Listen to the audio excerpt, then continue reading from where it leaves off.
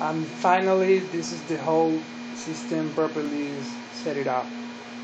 This is the Kinect the projector the computing doing all the calculations. And that is the screen. You can see the decorative color pins.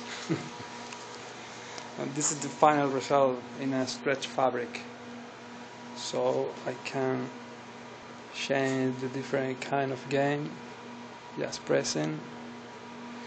For example I'm gonna choose the head and point out the head is here. Wait for the next one.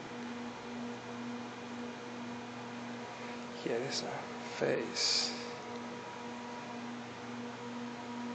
And that's it. This is the final result of GameX. Thank you for watching